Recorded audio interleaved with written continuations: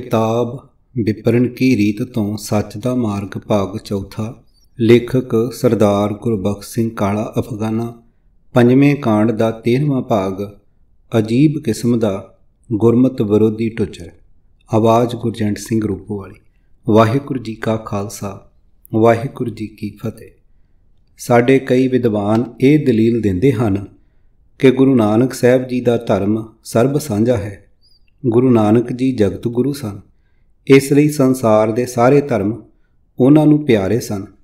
ਇਹੀ ਕਾਰਨ ਹੈ ਕਿ ਸਤਿਗੁਰਾਂ ਦੇ ਸਰੀਰ ਨੂੰ ਮੁਸਲਮਾਨ ਦਫਨਾਉਣਾ ਚਾਹੁੰਦੇ ਸਨ ਅਤੇ ਹਿੰਦੂ ਸੰਸਕਾਰ ਕਰਨ ਦੀ ਜਿੱਦ ਕਰ ਰਹੇ ਸਨ। ਇਸ ਲਈ ਜਿਹੜਾ ਮਰਜ਼ੀ ਹੈ, ਗੁਰੂ ਦਰਬਾਰ ਵਿੱਚ ਆ ਕੇ ਆਪਣੇ ਧਰਮ ਦੀ ਗੱਲ ਕਰ ਸਕਦਾ ਹੈ। ਗੁਰਦੁਆਰਾ ਹੀ ਇੱਕ ਅਜਿਹਾ ਧਰਮ ਅਸਥਾਨ ਹੈ, ਜਿੱਥੇ ਆ ਕੇ ਕੋਈ ਆਪਣੀ ਮਰਜ਼ੀ ਦੇ ਇਸ਼ਟ ਦੀ ਪੂਜਾ ਕਰ ਸਕਦਾ ਹੈ। ਗੁਰੂ ਘਰਾਂ ਵਿੱਚ ਮੂਰਤੀਆਂ ਦੀ ਅਸਥਾਪਨਾ ਕਰਕੇ ਉਦਾਸੀਆਂ ਨੇ ਤਾਂ ਸਗੋਂ ਸ੍ਰੀ ਗੁਰੂ ਨਾਨਕ ਸਾਹਿਬ ਜੀ ਦੇ ਹੀ ਸਰਬ ਸਾਂਝੇ ਮਿਸ਼ਨ ਅਨੁਸਾਰ ਮਰਜ਼ਾਦਾ ਬਣਾਈ ਸੀ। ਗੁਰੂ ਨਾਨਕ ਸਾਹਿਬ ਜੀ ਦਾ ਹੀ ਮਿਸ਼ਨ ਹੈ, ਨਾ ਕੋ ਬੈਰੀ ਨਹੀਂ ਬੇਗਾਨਾ, ਸਗਲ ਸੰਗ ਹਮਕੋ ਬਣਾਈ ਸਾਰਿਆਂ ਨਾਲ ਪਿਆਰ ਭਾਵਨਾ ਦੀ ਸਿੱਖਿਆ ਦੇਣ ਵਾਲੇ ਸਤਿਗੁਰੂ ਜੀ ਦੇ ਘਰ ਵਿੱਚ ਮੂਰਤੀਆਂ ਸਥਾਪਿਤ ਕਰਕੇ ਉਹਨਾਂ ਨੂੰ ਰੱਬ ਜਾਣ ਕੇ ਪੂਜਣ ਵਾਲੇ ਉਦਾਸੀ ਗੁਰੂ ਜੀ ਦੇ ਵੈਰੀ ਕਿਵੇਂ ਹੋਏ? ਅਤੇ ਜੇ ਕਿਤੇ ਪੰਥ ਦੇ ਔਖੇ ਸਮਿਆਂ ਵਿੱਚ ਉਦਾਸੀ ਜਾਂ ਨਿਰਮਲੇ ਗੁਰਮਤ ਦਾ ਸ਼ੁੱਧ ਪ੍ਰਚਾਰ ਨਾ ਕਰਦੇ ਰਹਿੰਦੇ, ਤਾਂ ਸਿੱਖੀ ਨਜ਼ਰ ਹੀ ਨਾ ਆਉਂਦੀ। ਅਜਿਹੇ ਲੋਕ ਬੜੇ ਜ਼ੋਰਦਾਰ ਸ਼ਬਦਾਂ ਵਿੱਚ ਕਹਿ ਰਹੇ ਹੁੰਦੇ ਹਨ ਕਿ ਸਾਨੂੰ ਚਾਹੀਦਾ ਹੈ ਕਿ ਅਸੀਂ ਉਦਾਸੀਆਂ, ਨਿਰਮਲਿਆਂ, ਮਹੰਤਾਂ ਆਦ ਦਾ ਧੰਨਵਾਦ ਕਰੀਏ। ਅਤੇ ਉਹਨਾਂ ਨੂੰ ਸ੍ਰੀ ਅਕਾਲ ਤਖਤ ਸਾਹਿਬ ਤੇ ਬੁਲਾ ਕੇ ਪੰਥਕ ਤੌਰ ਤੇ ਸਨਮਾਨਿਤ ਕਰੀਏ। ਕ੍ਰਮਵਾਰ ਗੁਰਮਤ ਵਿਚਾਰ। ਨੰਬਰ 1 ਪਹਿਲੀ ਤਾਂ ਇਹ ਗੱਲ ਸਮਝਣ ਵਾਲੀ ਹੈ ਕਿ ਸਤਿਗੁਰਾਂ ਨੇ ਸਾਰੇ ਜੀਆਂ ਨਾਲ ਇੱਕਸਾਰ ਪਿਆਰ ਅਤੇ ਹਮਦਰਦੀ ਕਰਨੀ ਸਿਖਾਈ ਹੈ। ਸਾਰੇ ਧਰਮਾਂ ਨਾਲ ਸਤਿਗੁਰਾਂ ਦਾ ਪਿਆਰ ਕਹਿਣਾ ਕੁਟਲਤਾ ਹੈ। ਗੁਰੂ ਗ੍ਰੰਥ ਸਾਹਿਬ ਜੀ ਦਾ ਬਚਨ ਤਾਂ ਸਗੋਂ ਇਹ ਹੈ, ਨਾ ਹਮ ਹਿੰਦੂ, ਨਾ ਮੁਸਲਮਾਨ ਅੱਲਾ ਰਾਮ ਕੇ ਪਿੰਡ ਪਰਾਨ ਪੰਨਾ 1136 ਸੰਸਾਰ ਦੇ ਮਨੁੱਖ ਮਾਤਰ ਸਤਿਗੁਰਾਂ ਨੂੰ ਪਿਆਰਾ ਹੈ। ਕਿਸੇ ਧਰਮ ਨਾਲ ਸਾਡਾ ਵਾਸਤਾ ਕਿਉਂ ਹੋਵੇ? ਮਨੁੱਖ ਦੇ ਅੱਡੋ ਅੱਡਰੇ ਧਰਮ ਵਿਖਾਵੇ ਅਤੇ ਆਪਸੀ ਫੁੱਟ ਦਾ ਕਾਰਨ ਬਣ ਰਹੇ ਹਨ। ਸਤਿਗੁਰੂ ਜੀ ਸਾਰੇ ਸੰਸਾਰ ਨੂੰ ਇੱਕ ਪਿਤਾ ਜੀ ਦੀ ਔਲਾਦ ਕਹਿੰਦੇ ਹਨ। ਏਕ ਪਿਤਾ ਇੱਕ ਸਕੇ ਹਮ ਬਾਰ। ਸਤਿਗੁਰਾਂ ਨੇ ਸਾਰਾ ਸੰਸਾਰ ਇੱਕ ਪਰਿਵਾਰ ਦੇ ਰੂਪ ਵਿੱਚ ਵੇਖਣਾ ਸਿਖਾਇਆ ਹੈ। ਸਾਰਿਆਂ ਵਿੱਚ ਉਸ ਇੱਕ ਨੂੰ ਹੀ ਵਿਆਪਕ ਵੇਖਣਾ ਸਿੱਖੀ ਦਾ ਪੱਕਾ ਸਿਧਾਂਤ ਹੈ। ਇਸੇ ਕਰਕੇ ਸਤਿਗੁਰਾਂ ਨੇ ਫਰਮਾਇਆ ਹੈ ਕਿ ਮੰਦਾ ਕਿਸ ਨੂੰ ਆਖੀਐ ਜਾਂ ਸਭਨਾ ਸਾਹਿਬ ਏਕ ਪੰਨਾ 1238 ਸੋ ਜਿਹੜਾ ਉਪਦੇਸ਼ਕ ਲੋਕਾਂ ਨੂੰ ਇਹ ਉਪਦੇਸ਼ ਦੇਵੇ ਕਿ ਅਸੀਂ ਇੱਕ ਪਿਤਾ ਦੇ ਪੁੱਤਰ ਸਕੇ ਭਰਾ ਹਾਂ, ਜਿਹੜਾ ਸਾਰੇ ਮਨੁੱਖਾਂ ਵਿੱਚ ਵਿਆਪਕ ਸਿਰਜਣਹਾਰ ਦੇ ਦਰਸ਼ਨ ਕਰਾਏ ਜਿਹੜਾ ਆਗੂ ਧਰਮ ਨੂੰ ਕਿਸੇ ਵਿਧੀ ਵਿਧਾਨ ਦਾ ਕੈਦੀ ਨਾ ਸਮਝ ਕੇ ਮਨੁੱਖ ਨੂੰ ਉੱਚੀ ਆਤਮਿਕ ਅਵਸਥਾ ਦਾ ਮਾਲਕ ਬਣਾਏ, ਜਿਹੜਾ ਸਾਨੂੰ ਇਹ ਉਪਦੇਸ਼ ਦੇਵੇ। ਏਕ ਪਿਤਾ, ਏਕ ਸਕੇ ਹਮ ਬਾਰਿਕ, ਤੂੰ ਮੇਰਾ ਗੁਰਹਾਈ ਸੁਣ ਮੀਤਾ ਜਿਉ ਹਮਾਰਾ ਬਲ ਬਲ ਜਾਸੀ, ਹਰ ਦਰਸ਼ਨ ਦੇਹ ਦਿਖਾਈ। ਸੁਣ ਮੀਤਾ, ਧੂਰੀ ਕੋ ਬਲ ਜਾਈ, ਇਹ ਮਨ ਤੇਰਾ ਭਾਈ ਰਹਾ ਪਾਵ ਮਲੋਮਾ ਮਲ ਮਲ ਧੋਮਾ ਏ ਮਨ ਤੈ ਕੋ ਦੇਸਾਂ, ਸੁਣ ਮੀਤਾ, ਹਉ ਤੇਰੀ ਸ਼ਰਣਾਈ ਆਇਆ, ਪ੍ਰਭ ਮਿਲੋ ਦੇਹੋ ਉਪਦੇਸਾ, ਮਾਣ ਨਾ ਕੀਜੈ, ਸ਼ਰਨ ਭਰੀਜੈ, ਕਰੇ ਸੋ ਭਲਾ ਮਨਾਈਐ, ਸੁਣ ਮੀਤਾ, ਜਿਉ ਪਿੰਡ ਸਭ ਤਨ ਅਰਪੀਜੈ ਇਉ ਦਰਸ਼ਨ ਹਰ ਜਿਉ ਪਾਈਐ। ਭਇਓ ਅਨੁਗ੍ਰਹ ਪ੍ਰਸਾਦ ਸੰਤਨ ਕੈ, ਹਰ ਨਾਮਾ ਹੈ ਮੀਠਾ ਜਨ ਨਾਨਕ ਕੋ ਗੁਰ ਕਿਰਪਾ ਧਾਰੀ, ਸਭ ਅਕੁਲ ਨਰੰਜਨ ਡੀਠਾ। ਪੰਨਾ 612 ਉਹ ਸਾਡਾ ਮਿੱਤਰ ਹੈ, ਉਹੀ ਸਾਡਾ ਵੀਰ ਹੈ, ਉਹੀ ਸਾਡਾ ਸੱਜਣ ਹੈ, ਜਿਹੜਾ ਸਾਰਿਆਂ ਨੂੰ ਆਪਣਾ ਪਰਿਵਾਰ ਸਮਝੇ ਅਤੇ ਦੂਜਿਆਂ ਨੂੰ ਉਸ ਸਿਰਜਣਹਾਰ ਦੇ ਦਰਸ਼ਨ ਕਰਾਏ। ਘਟ ਘਟ ਵਾਸੀ, ਸਰਬ ਨਿਵਾਸੀ, ਨੇਰਾ ਹੀ ਤੇ ਨੇਰਾ।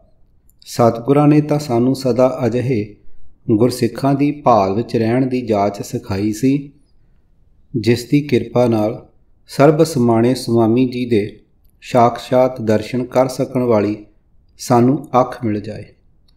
ਦਹਿ ਦਿਸ਼ ਖੋਜ ਤਹਮ ਫਿਰੇ ਮੇਰੇ ਲਾਲ ਜੀਓ, ਹਰ ਪਾਇੜਾ ਘਰ ਆਏ RAM ਹਰ ਮੰਦਰ ਹਰ ਜੀਓ ਸਾਜਿਆ ਮੇਰੇ ਲਾਲ ਜੀਓ, ਹਰ ਤਿਸ ਮਹਿ ਰਹਾ ਸਮਾਏ RAM ਸਰਬੇ ਸਮਾਣਾ ਆਪ ਸੁਆਮੀ ਗੁਰਮੁਖ ਪ੍ਰਗਟ ਹੋਇਆ, ਮਿਟਿਆ ਅੰਧੇਰਾ, ਦੂਖ ਨਾਠਾ ਅਮਿਓ ਹਰ ਰਸ ਚੋਇਆ।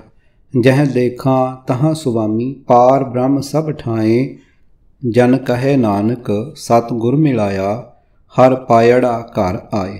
ਪੰਨਾ 542 ਪਰ ਜਿਹੜਾ ਸੰਗਤ ਦੇ ਮਨਾਂ ਵਿੱਚ ਰੱਬ ਦੇ ਸ਼ਰੀਕ, ਕਿਸੇ ਹੋਰ ਦੇਵੀ ਦੇਵਤੀ ਦੀ ਹੋਂਦ ਦਾ ਸੰਕਲਪ ਪੈਦਾ ਕਰਕੇ ਏਕ ਪਿਤਾ, ਏਕ ਸਕੇ ਹੰਬਾਰਕ ਵਾਲੀ ਭਾਵਨਾ ਦੇ ਥਾਂ ਵਖੇਵਾ ਪੈਦਾ ਕਰਨ ਦਾ ਬੀਜ ਬੀਜਣ ਦੀ ਇੱਛਾ ਵਾਲਾ ਹੈ, ਉਹ ਸਿੱਖੀ ਸਿਧਾਂਤ ਦੇ ਪ੍ਰਚਾਰ ਲਈ ਬਣੀ ਧਰਮਸ਼ਾਲਾ ਵਿੱਚ ਕਿਉਂ ਵੜੇ? ਨੰਬਰ 2 ਜਿਸ ਸਿਉ ਰਾਤਾ ਤੈਸੋ ਹੋਵੇ, ਪੰਨਾ 65 ਜੈਸਿਉ ਰਾਤਾ ਤੈਸੋ ਹੋਵੇ, ਪੰਨਾ 411 ਜੈਸਾ ਸੇਵੈ ਤੈਸੋ ਹੋਏ, ਪੰਨਾ 223 ਗੁਰਮਤ ਦਾ ਇਹ ਅਟਲ ਵਿਸ਼ਵਾਸ ਹੈ ਕਿ ਮਨੁੱਖ ਜਿਸ ਨਾਲ ਆਪਣੇ ਹਿਰਦੇ ਤੋਂ ਪਿਆਰ ਕਰਦਾ ਹੈ, ਜਿਸ ਦੇ ਪਿਆਰ ਰੰਗ ਵਿੱਚ ਕੋਈ ਰੰਗਿਆ ਹੋਇਆ ਹੈ, ਉਹ ਆਪ ਵੀ ਉਸ ਤਰ੍ਹਾਂ ਦਾ ਹੋ ਜਾਂਦਾ ਹੈ।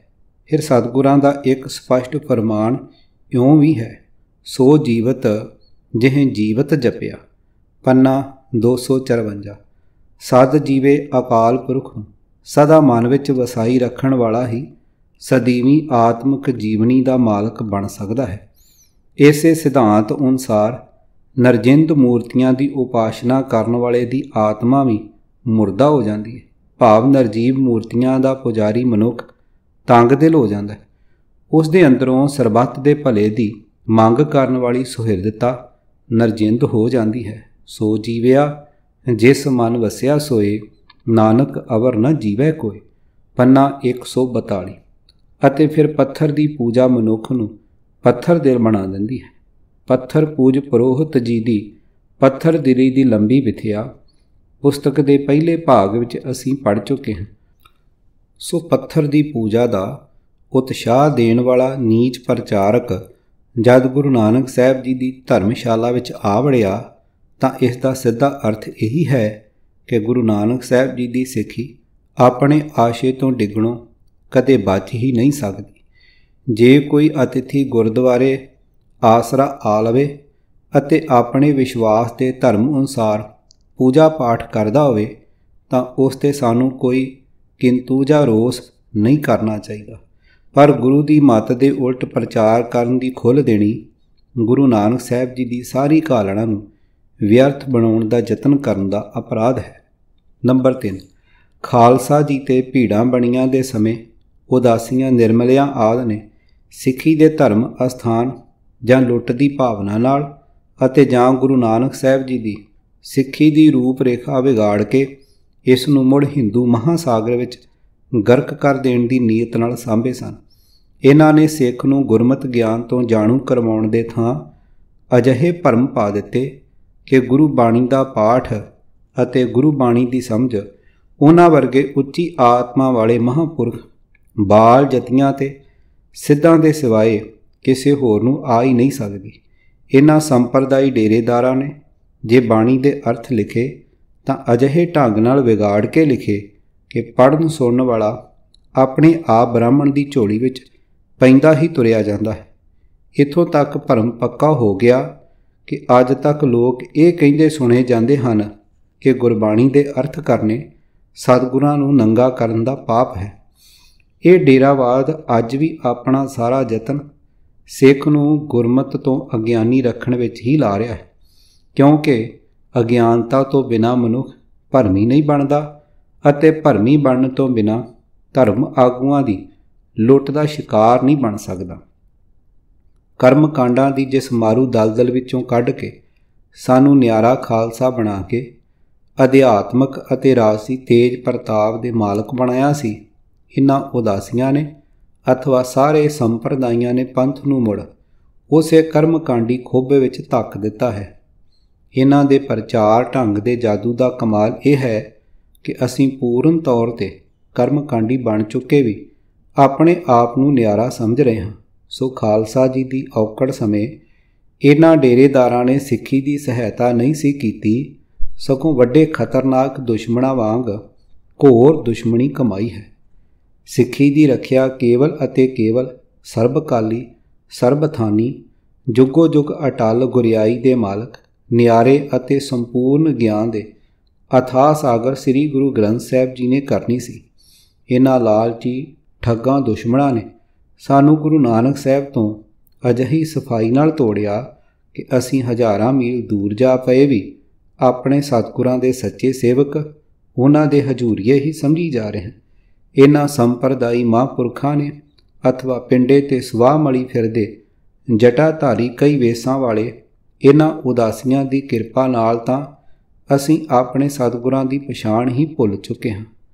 ਕਿਉਂਕਿ ਜੋ ਜਿਲਦ ਪੱਤਰੇ ਅੱਖਰ ਰੁਮਾਲੇ, ਪੀੜਾ ਸਾਹਿਬ, ਚੌਰ, ਪਾਲਕੀ ਆਦ ਆਕਾਰ ਸਾਨੂੰ ਦਿਸਦਾ ਹੈ, ਉਹ ਸਭ ਕੁਝ ਅਸਾਂ ਆਪ ਬਣਾਇਆ ਹੁੰਦਾ ਹੈ। ਅਕਾਲ ਪੁਰਖ, ਨਿਰੰਕਾਰ ਭਾਵ ਆਕਾਰ ਤੋਂ ਬਿਨਾ ਹੈ। ਸਾਡਾ ਗੁਰੂ ਵੀ ਨਿਰੰਕਾਰ ਹੈ, ਰੱਬ ਅਦ੍ਰਿਸ਼ਟ ਹੈ। ਤਾਂ ਸਾਡਾ ਗੁਰੂ ਵੀ ਅਦ੍ਰਿਸ਼ਟ ਹੀ ਹੈ। ਸੁੱਤੇ ਹੀ ਪ੍ਰਸ਼ਨ ਉੱਠਦਾ ਹੈ, ਜੇ ਦਿਸਦਾ ਸਭ ਕੁਝ ਸਾਡਾ ਗੁਰੂ ਨਹੀਂ, ਤਾਂ ਫਿਰ ਉਹ ਗੁਰੂ ਕਿਹੜਾ ਹੈ ਜਿਸ ਨੂੰ ਦਸ਼ਮੇਸ਼ ਜੀ ਨੇ ਸਦੀਵੀ ਗੁਰਿਆਈ ਸੌਂਪੀ ਸੀ? ਪਿਆਰੇ ਪਾਠਕ ਜੀਓ, ਪੱਤਰਿਆਂ ਤੇ ਬਣੇ ਕੇਵਲ ਅੱਖਰ ਸਾਡੇ ਗੁਰੂ ਨਹੀਂ ਹਨ, ਪਰ ਉਹਨਾਂ ਅੱਖਰਾਂ ਦੇ ਜੋੜ ਨਾਲ ਜੋ ਬਾਣੀ ਹੈ ਅਤੇ ਬਾਣੀ ਤੋਂ ਪ੍ਰਾਪਤ ਹੁੰਦਾ ਜੋ ਗਿਆਨ ਹੈ ਉਹੀ ਸਾਡਾ ਗੁਰੂ ਹੈ। ਕਹੋ ਕਬੀਰ, ਮੈਂ ਸੋ ਗੁਰ ਪਾਇਆ, ਜਾ ਕਾ ਨਾਉ ਬਬੇਕੋ, ਪੰਨਾ 793 ਅਤੇ ਸ਼ਬਦ ਗਿਆਨ ਅੱਖੀਆਂ ਨਾਲ ਵੇਖਿਆ ਨਹੀਂ ਜਾ ਸਕਦਾ। ਮਨ ਹਾਜ਼ਰ ਰੱਖ ਕੇ ਉਸ ਨੂੰ ਸਮਝਿਆ ਅਤੇ ਉਸ ਅਨੁਸਾਰ ਤੁਰਿਆ ਹੀ ਸ਼ਬਦ ਗਿਆਨ ਗੁਰੂ ਦੇ ਦਰਸ਼ਨ ਹੋ ਸਕਦੇ ਹਨ। ਕਈ ਵਾਰੀ ਨਹੀਂ, ਆਮ ਤੌਰ ਤੇ ਹੀ ਕੋਲ ਬੈਠ ਕੇ ਪਾਠ ਸੁਣਦਿਆਂ ਨੂੰ ਹੀ ਸਤਿਗੁਰਾਂ ਦੀ ਸੰਗਤ ਨਸੀਬਾਂ ਵਿੱਚ ਨਹੀਂ ਹੁੰਦੀ। ਗੁਰ ਸਭਾ ਏਮ ਨਾ ਪਾਈਐ, ਨਾ ਨੇੜੈ ਨਾ ਦੂਰ, ਨਾਨਕ ਸਤਿਗੁਰ ਤਾਂ ਮਿਲੈ, ਜਾਂ ਮਨ ਰਹੇ ਹਦੂਰ। ਪੰਨਾ 84 ਵਾਸਤਵ ਵਿੱਚ ਅਸੀਂ ਆਪਣੇ ਸਤਿਗੁਰਾਂ ਦੀ ਪਛਾਣ ਹੀ ਭੁੱਲ ਚੁੱਕੇ ਹਾਂ। ਇਹ ਸ਼ਬਦ ਗਿਆਨ ਗੁਰੂ। 1430 ਪਾਵਨ ਪਵਿੱਤਰ ਅਤੇ ਪੂਜਨੀਕ ਪੱਤਰਿਆਂ ਵਿੱਚ ਸੁਰੱਖਿਅਤ ਹੈ। ਭਗਤ ਭਾਗ ਤਉ ਲਿਖੀਐ ਤੇ ਉਪਰੇ ਪੂਜੀਏ ਕਰ ਨਮਸਕਾਰੰ ਪੰਨਾ 1293 ਨਿਆਰੇ ਅਤੇ ਸਰਬ ਸ੍ਰੇਸ਼ਟ ਇਸ ਗਿਆਨ ਨੂੰ ਜਗਤਾ ਗੁਰੂ ਬਣਾ ਕੇ ਸਤਿਗੁਰਾਂ ਨੇ ਹਰ ਇੱਕ ਗੁਰਸਿੱਖ ਦੀ ਅੱਖੀਆਂ ਦਾ ਤਾਰਾ ਬਣਾ ਦਿੱਤਾ ਹੋਇਆ ਸੀ। ਆਪਣੇ ਨੇਤਰਾਂ ਦੀ ਰੌਸ਼ਨੀ 10 ਸਤਿਗੁਰਾਂ ਦੀ ਇਸ ਜੋਤ ਨੂੰ ਆਪਣੀ ਜਾਨ ਨਾਲੋਂ ਵੱਧ ਪਿਆਰਾ ਜਾਣ ਕੇ ਸੰਭਾਲੀ ਰੱਖਣਾ ਹਰ ਇੱਕ ਗੁਰਸਿੱਖ ਨੇ ਆਪਣਾ ਧਰਮ ਬਣਾ ਲਿਆ ਹੋਇਆ ਸੀ। ਉਸ ਅਤ ਭੀੜ ਦੇ ਸਮੇਂ ਜਿਸ ਜਿਸ ਵਿੱਚ ਸਤਿਗੁਰਾਂ ਨੇ ਸਤਿਗੁਰ ਦੇ ਸਰੂਪ ਨੂੰ ਸੰਭਾਲਿਆ ਹੋਣਾ ਸੀ ਉਸ ਨੇ ਗੁਰਬਾਣੀ ਦਾ ਪਾਠ ਵੀ ਕਰਿਆ ਕਰਨਾ ਸੀ। ਕਿਉਂਕਿ ਘਰ ਘਰ ਵਿੱਚ ਧਰਮਸ਼ਾਲ ਬਣਾ ਲੈਣ ਦਾ ਸੰਕਲਪ ਤਾਂ ਸਿੱਖੀ ਵਿੱਚ ਗੁਰੂ ਨਾਨਕ ਸਾਹਿਬ ਜੀ ਦੇ ਸਮੇਂ ਤੋਂ ਹੀ ਬਣ ਚੁੱਕਿਆ ਸੀ। ਘਰ ਘਰ ਅੰਦਰ ਧਰਮਸਾਲ ਹੋਵੇ, ਕੀਰਤਨ ਸਦਾ ਵਿਸੋਗਾ ਵਾਰ ਨੰਬਰ 1 ਪੌੜੀ ਨੰਬਰ 27 ਭਾਈ ਗੁਰਦਾਸ ਜੀ। ਜਿਹੜੇ ਲੋਕਾਂ ਵਿੱਚ ਉਦਾਸੀ ਅਥਵਾ ਸੰਪਰਦਾਈਏ ਸਿੱਖੀ ਦਾ ਪ੍ਰਚਾਰ ਕਰਿਆ ਕਰਦੇ ਮੰਨ ਰਹੇ ਹਾਂ, ਜੇ ਇਹ ਟੋਲਾ ਨਾ ਹੁੰਦਾ, ਤਾਂ ਉਹਨਾਂ ਹੀ ਗੁਰਸਿੱਖਾਂ ਨੇ ਵਿਤ ਅਨੁਸਾਰ ਕਈ ਹੋਰਨਾਂ ਨਾਲ ਮਿਲ ਬੈਠ ਕੇ ਸ਼ਬਦ ਵਿਚਾਰ ਵੀ ਜ਼ਰੂਰ ਕਰਿਆ ਕਰਨੀ ਸੀ। ਸਾਰੀਆਂ ਔਕੜਾਂ ਤੇ ਫਤਿਹ ਪਾ ਕੇ ਅਤੇ ਭੀੜਾਂ ਵਾਲੇ ਸਮੇਂ ਨੂੰ ਵਿਦਾ ਕਰਕੇ 1799 ਵਿੱਚ ਜਦ ਖਾਲਸਾ ਜੀ ਨੇ ਲਾਹੌਰ ਫਤਿਹ ਕਰ ਲਿਆ ਸੀ ਤਾਂ ਸ੍ਰੀ ਗੁਰੂ ਗ੍ਰੰਥ ਸਾਹਿਬ ਜੀ ਨੇ ਉਵੇਂ ਦਾ ਉਵੇਂ ਪ੍ਰਗਟ ਹੋ ਜਾਣਾ ਸੀ ਜਿਵੇਂ ਉਹ 1708 ਵਿੱਚ ਗੁਰਿਆਈ ਦੀ ਗੱਦੀ ਤੇ ਬਰਾਜੇ ਸਨ। ਗੁਰਬਾਣੀ ਦੇ ਹੁਕਮਾਂ ਨੂੰ ਸਮਝਣ ਸਮਝਾਉਣ ਵਾਲੇ ਗੁਰਮੁਖ ਪਿਆਰੇ ਵੀ ਬਥੇਰੇ ਪ੍ਰਗਟ ਹੋ ਜਾਣੇ ਸਨ। ਸ਼ੁੱਧ ਗੁਰਮਤ ਦੇ ਪ੍ਰਚਾਰ ਦੇ ਖੁੱਲੇ ਪ੍ਰਬੰਧ ਹੋਣ ਵਿੱਚ ਢਿੱਲ ਹੀ ਨਹੀਂ ਸੀ ਰਹਿਣੀ। ਸਿੱਖੀ ਆਪਣੇ ਨਿਆਰੇ ਗਿਆਨ ਨਾਲ ਝਟ ਜੁੜ ਜਾਣੀ ਸੀ। ਦੁਖਦਾਈ ਘਾਟ। ਗੁਰਮਤ ਦੇ ਪ੍ਰਚਾਰ ਦਾ ਭਰਮ ਜਿਸ ਢੰਗ ਨਾਲ ਇਹਨਾਂ ਡੇਰੇਦਾਰਾਂ ਨੇ ਬਣਾ ਲਿਆ ਹੋਇਆ ਸੀ ਉਸ ਅਨੁਸਾਰ ਖਾਲਸਾ ਰਾਜ ਸਮੇਂ ਕੌਣ ਸਮਝੇ ਕਿ ਗੁਰਮਤ ਦਾ ਇਹ ਕਥਿਤ ਪ੍ਰਚਾਰ ਅਸਲ ਵਿੱਚ ਗੁਰਮਤ ਦੀ ਖੰਡਨਾ ਕਰਨ ਵਾਲਾ ਪ੍ਰੋਹਤਵਾਦੀ ਪ੍ਰਚਾਰ ਹੈ ਅਤੇ ਹੌਲੀ-ਹੌਲੀ ਘਾਤ ਕਰੀ ਜਾਣ ਵਾਲਾ, ਇਹ ਅਜਿਹਾ ਸਲੋ ਪੁਆਜ਼ਨ ਹੈ ਜਿਸ ਨੇ ਅੰਤ ਸਾਨੂੰ ਸਦਾ ਦੀ ਨੀਂਦ ਸੁਆ ਦੇਣਾ ਹੈ। ਡੇਰੇਵਾਦ ਦੇ ਪ੍ਰਚਾਰ ਦਾ ਜ਼ਹਿਰ ਸਾਡੀਆਂ ਨਸਾਂ ਵਿੱਚ ਇਸ ਹੱਦ ਤੱਕ ਅਸਰ ਕਰ ਚੁੱਕਾ ਹੈ ਕਿ ਅੱਜ ਸੱਚ ਦੀ ਗੱਲ ਸੁਣਨੀ ਲਗਭਗ ਅਸੰਭਵ ਬਣ ਚੁੱਕੀ ਹੈ ਕਿ ਅੱਜ ਅਸੀਂ ਸਮਝ ਲਵਾਂਗੇ ਕਿ ਸਤਿਗੁਰਾਂ ਨੇ ਮਨੁੱਖ ਨੂੰ ਅਜਿਹੀ ਜੀਵਨ ਯੁਕਤ ਬਖਸ਼ਿਸ਼ ਕੀਤੀ ਹੈ ਜੋ ਸਾਰੇ ਧਰਮਾਂ ਦੇ ਕਰਮਕਾਂਡੀ ਬੰਧਨਾਂ ਤੋਂ ਮੁਕਤ ਅਤੇ ਬਿਲਕੁਲ ਨਿਆਰੀ ਹੈ। ਮੰਨ ਲੈਣਾ ਤਾਂ ਕਿਤੇ ਰਿਹਾ ਕਿ ਅਸੀਂ ਅੱਜ ਇਹ ਸੁਣਨਾ ਝੱਲ ਸਕਦੇ ਹਾਂ ਕਿ ਇਹਨਾਂ ਉਦਾਸੀਆਂ ਨੇ ਸਾਡੀ ਸਾਰੀ ਮਰਿਆਦਾ ਇਥੋਂ ਤੱਕ ਕਰਮਕਾਂਡੀ ਬਣਾ ਦਿੱਤੀ ਹੈ। ਸਾਡੇ ਅਖੰਡ ਪਾਠ ਅਥਵਾ ਵਿਧੀ ਵਿਧਾਨ ਵਾਲੇ ਹੋਰ ਪਾਠ ਜਾਪ, ਇਥੋਂ ਤੱਕ ਕਿ ਖੰਡੇ ਬਾਟੇ ਦਾ ਅੰਮ੍ਰਿਤ ਵੀ ਕਰਮਕਾਂਡੀ ਬੰਧਨ ਬਣਾ ਦਿੱਤਾ ਹੋਇਆ ਹੈ। ਹਾਲਾਂਕਿ ਪੰਚਮ ਪਾਤਸ਼ਾਹ ਜੀ ਦਾ ਸਪਸ਼ਟ ਫਰਮਾਨ ਹੈ, ਤੈਂਡੀ ਬੰਦਸ਼ ਮੈਂ ਕੋਏ ਨਾ, ਡਿਠਾ ਤੂੰ ਨਾਨਕ ਮਨ ਪਾਣਾ ਘੋਲ ਕਮਾਈ ਤੇ ਸਮਿੱਤਰ ਵਿਚੋਲੇ, ਜੈ ਮਿਲ ਕੰਤ ਪਛਾਣਾ, ਪੰਨਾ 964 ਸਿੱਖੀ ਕਿਸੇ ਧਰਮ ਕਰਮ ਦਾ ਨਾਮ ਨਹੀਂ, ਸਿੱਖੀ ਹਿਰਦੇ ਦੀ ਸ਼ੁੱਧਤਾ ਨਾਲ ਸਾਰੇ ਥਾਈਂ ਪ੍ਰਭੂ ਦੀ ਵਿਆਪਕਤਾ ਦੇ ਦਰਸ਼ਨ ਕਰਾਉਣ ਵਾਲੀ ਅੱਖ ਹੈ। ਇਹ ਵੇ ਸੰਸਾਰ ਤੁਮ ਦੇਖਦੇ, ਇਹ ਹਰ ਕਾ ਰੂਪ ਹੈ, ਹਰ ਰੂਪ ਨਦਰੀ ਆਇਆ। ਪੰਨਾ 922 ਚਾਰ ਕੁੰਟ 14 ਭਵਨ, ਸਗਲ ਬਿਆਪਤ ਰਾਮ। ਨਾਨਕ ਊ ਨਾ ਦੇਖੀਐ, ਪੂਰਨ ਤਾਕੈ ਕਾਮ। ਪੰਨਾ 299 ਸੋ ਅੰਤਰ, ਸੋ ਬਾਹਰ, ਅਨੰਤ। ਘਟ ਘਟ ਵਿਆਪ ਰਹਾ ਭਗਵੰਤ। ਪੰਨਾ 293 ਗੁਰ ਪੂਰੇ ਮਿਲਾਇਆ, ਜਤ ਦੇਖਾਂ ਤਤ ਸੋਏ। ਪੰਨਾ 957 ਜਹ ਦੇਖਾਂ ਤੂੰ ਸਭਨੀ ਥਾਈ, ਪੂਰੇ ਗੁਰ ਸਭ ਸੋਧੀ ਪਾਈ। ਪੰਨਾ 1052 ਪਰ ਗ੍ਰਸਤ ਤੇ ਤਿਆਗੀਆਂ ਨੇ ਇਹ ਕਦੋਂ ਮੰਨਣਾ ਹੈ? ਮੰਨੋ ਦੂਰ ਨਾ ਜਾਹੇ ਪਿਰਾ ਜਿਓ ਘਰ ਬੈਠਿਆਂ ਹਰ ਪਾਏ, ਪੰਨਾ 246 ਹਰ ਇੱਕ ਪ੍ਰਾਣੀ ਦੇ ਹਿਰਦੇ ਵਿੱਚ ਵਾਹਿਗੁਰੂ ਦਾ ਨਿਵਾਸ ਜਾਣ ਕੇ ਕਿਸੇ ਨੂੰ ਮੰਦਾ ਨਾ ਆਖਣਾ, ਆਪਣੇ ਹਿਰਦੇ ਵਿੱਚ ਪ੍ਰਭੂ ਨੂੰ ਸਦਾ ਬੈਠਾ ਜਾਣ ਕੇ ਉਸ ਦੇ ਨਿਰਮਲ ਭੈ ਅਦਬ ਵਿੱਚ ਰਹਿਣਾ ਸਿੱਖੀ ਦਾ ਮੂਲ ਸਿਧਾਂਤ ਹੈ। ਸੁੱਚੇ ਆਚਰਨ ਦਾ ਮਾਲਕ ਬਣ ਕੇ ਮਿੱਠ ਬੋਲਾ ਹੋਣਾ ਅਤੇ ਸਰਬੱਤ ਦੇ ਭਲੇ ਦੀ ਕਾਮਨਾ ਕਰਦੇ ਰਹਿਣਾ ਸਿੱਖੀ ਹੈ।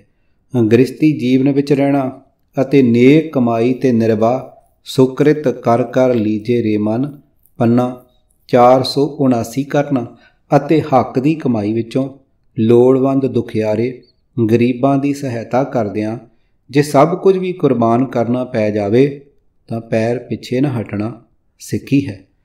ਬਚਨਾਂ ਦੇ ਪੱਕੇ ਹੋਣਾ ਅਤੇ ਸਰਬੱਤ ਦੇ ਭਰੋਸੇ ਦੇ ਪਾਤਰ ਬਣੇ ਰਹਿਣਾ ਸਿੱਖੀ ਹੈ।